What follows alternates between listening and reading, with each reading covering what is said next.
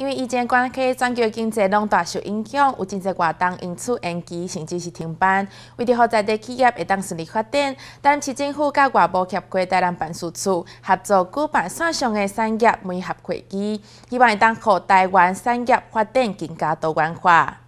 透过镜头，无论是偌远的人，拢会当面对面讲过。为去年开始受到疫情影响，无法度出国，因此也开启了无共款的工作模式。为着协助在地企业拓展国外市场，台南市政府透过外部协会联合，邀请全球各地企业主进行线上的采购会议。我目前在这个时段里面，大概有二十四个国家同时跟我们并行连线。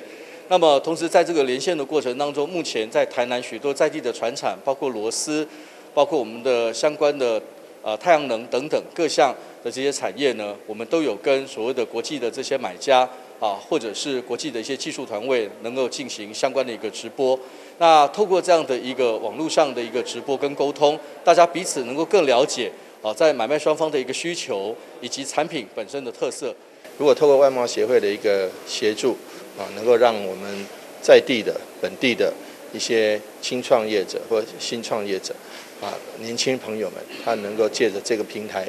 能够跟啊外贸协会合作，能够开拓不仅是开拓视野，而且是开拓自己的未来的，不管是发想好，或是软实力，或者是硬硬产品，都能够呃这个让世界都看见。